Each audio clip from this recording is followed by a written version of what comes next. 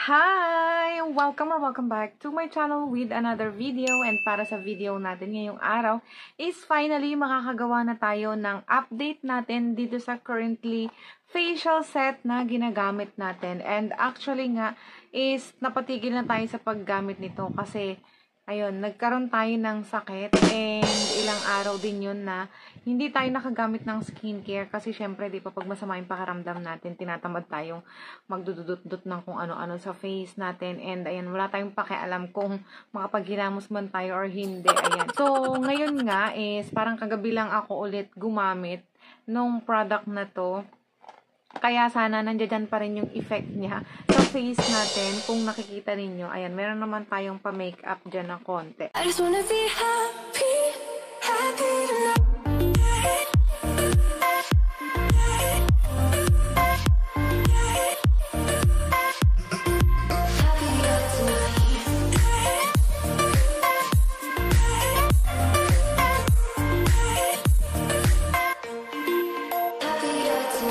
eto po yung ating um, nire-review na product ng, tada, yung CeraSe Beauty Peel Exfoliate.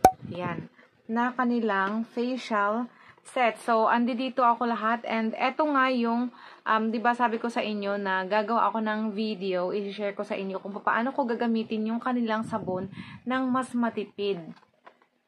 Ayan, ayun nga is hindi na natin siya nagawa ng video kasi um, na-busy tayo, marami tayong mga ginawa, nag-graduation and maraming mga lakad, ganyan. And ngayon, sumunod naman itong ano, pagkakaroon natin ng sakit, siguro masyado tayong napagod. Kaya, ganun. And, ayun nga, hindi ko na nga nagawan to ng video. Ito, ang ginawa ko sa kanya is, in-slice-slice ko siya. Ayan, para hindi ko siya mababasa lahat. And first slice, and kukuha lang ako ng slice if ever na maubos na yung ginagamit ko doon. And, ayun, hindi ko lang din siya sa face ginagamit, ginagamit ko din siya sa buong katawan ko. And lahat naman ng sets na mga nagamit ko, yung mga sabon, is ginagamit ko din talaga sa, ano, sa katawan ko. So, eto na nga yung ating update. So, first, um, hindi naman siya yung as in sobrang hapde na halos hindi mo na siya kayang tiisin pag sinasabon mo o hinihilamusan mo yung mukha mo. Hindi siya ganun. Hindi ganun yung experience ko. Uh, number two, meron siyang hapde pero natut- kaya namang i-tolerate yung hapde. And hindi naman tayo nag ano, naglongganisa yung face ganun, di ba? So, syempre, um, nito kasi mga nakaraang araw, ang init-init and lagi tayong nasa labas. Kailangan nating lumabas kasi marami nga tayong inaasikaso and mga graduation, ganyan.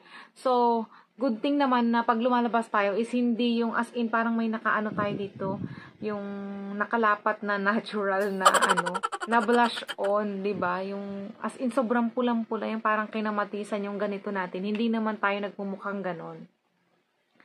And Um, next naman na effect niya is yung kanyang pamamalat is hindi malalaking pamamalat. Parang micro peel lang siya. Hindi mo siya masyadong mahalata pag hindi tayo nagpa-powder ng face. Pero pag halimbawa mag-aayos tayo ng face natin and maglalagay tayo ng powder, ayun, medyo ano, lalabas yung mga pamamalat dyan, gano'n. Nagbalat-balat ako dito. Sa ngayon, meron ako dito pamamalat na konti, dyan.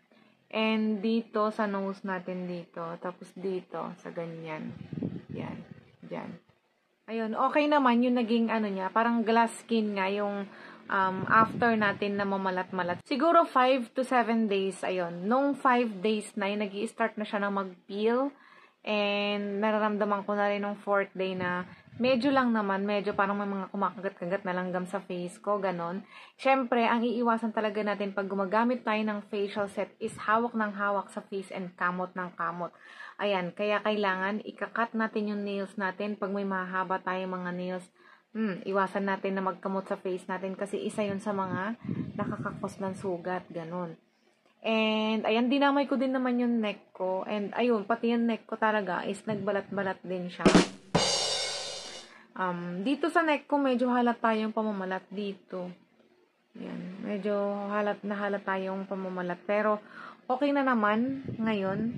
And wala na, hindi ko na yun ina-applyan kasi nagsasabon sa buong katawan, nagtutoner dito na lang sa face, and yung night cream is dito na lang din sa face. So, ang una kong naubos is itong kanilang sunscreen. Siguro pang fourth day ko pa lang is naubos ko na to. Yung soap, madami pa, 'di ba? Ayan, sobrang matipid akong gumamit nito eh. Kahit ginagamit ko siya sa buong katawan ko. Kasi nga, um, mas magastos pag babasain natin lahat yung ating sabon. Kailangan ikakat-kat natin ng ganon. Parang magastos siya tignan pero actually mas nakakatipid tayo dun kasi hindi mo mababasa um, lahat yung sabon. Pag nabasa kasi yung sabon, mas madali siya matunaw. Ganon. Itong night cream, ang dami pa nito. Promise, wala pa to sa kalahati. Nung ginamit ko to nung una, naging ganito na siya, napipit na siya ng ganito. Pero, marami pa talaga siya. Konting pindot lang, lumalabas na yung product and ayun. Ngayon, kinontinue ko ulit yung paggamit nung ano eh, nung night cream na yun. Itong toner, meron pa siya, pero kaganito na lang siya kadami. Ayan. Itong night cream, ang paggamit ko na lang dito is every other um, night. Yung sabon, yung itong toner, ayan, every day, every lig after ligo, ganyan. Um, and then, gagamit na lang ako ng ibang sunscreen. Since itong sunscreen nila is ubos na. And itong night cream naman nila is every other night ko siya na ginagamit. Pag gumagamit ako nito, wala na akong ibang ina-apply sa face ko. Yun. Sabon nila, yung sabon ng CeraSe, tsaka yung toner, and ito. Wala na akong ilalagay after. And ayun, good thing naman na hindi tayo nag, ano, yun namula yung sobra. As in yung nagkakamatis nagulong ganito yung face natin. Ayaw din naman natin na mangyari yun di ba? Na ano ang gusto ko lang kasi is ayun mag ano siya parang marinyo lang yung balat natin mag peel lang ng konti ganyan.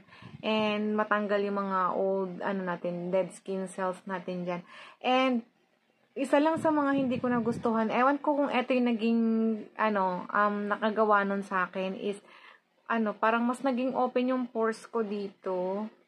Ayan, imbis na lumiit. Yun lang naman yung magiging, ah, naging puna ko sa, ano, sa product na to. Hindi ko sure kung ito bang nakagawa o dahil nga sobrang init ng panahon na sobrang lagi akong pawis na pawis.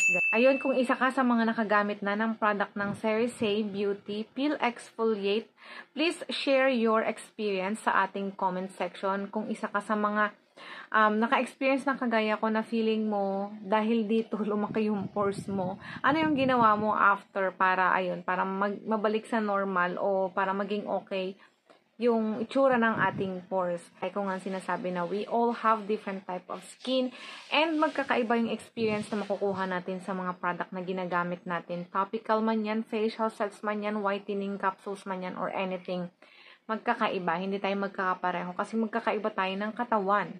Ayan.